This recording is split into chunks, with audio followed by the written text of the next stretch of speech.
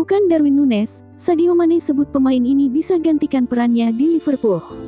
Sadio Mane menyebut ada dua pemain yang bisa menggantikan perannya di Liverpool. Sisi kiri penyerangan yang diisi Sadio Mane bertahun-tahun harus segera digantikan dan Liverpool sendiri bergerak cepat untuk menggantikannya. Bintang muda asal Uruguay, Darwin Nunes, diboyong dari klub Portugal, Benfica bahkan sebelum Mane resmi berpindah.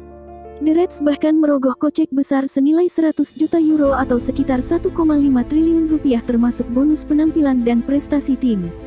Namun, banyak yang beranggapan dibelinya Darwin Nunes bakal diplot sebagai pengganti Mane, padahal dari segi posisi keduanya sudah berbeda.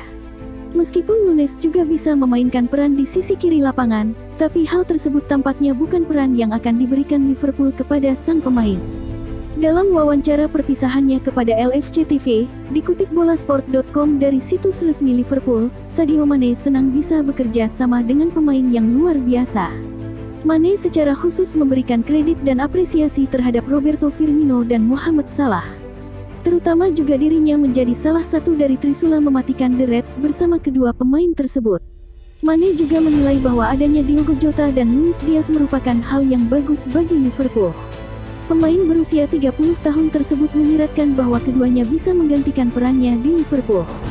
Bobby Firmino dan Mo Salah, pemain menakjubkan, kata Mane seperti dikutip bolasport.com dari Express. Saya pikir tidak ada rahasia lain karena bermain bersama para pemain hebat ini.